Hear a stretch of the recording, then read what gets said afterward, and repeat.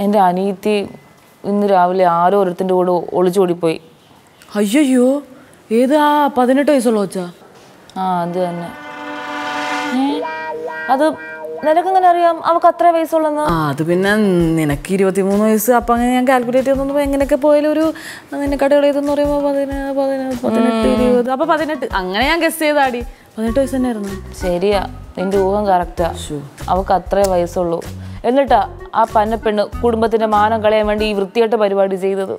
ആ മൊത്തത്തിൽ നമുക്കത് വൃത്തിയുടെ പരിപാടി എന്ന് പറഞ്ഞ് തള്ളിക്കളയാൻ പറ്റത്തൊന്നുമില്ല. അത് ആ കൊച്ചു ഇഷ്ടപ്പെടുന്ന ഒരാളുടെ പോലെ കൊച്ചു പോയിട്ടുള്ളൂ.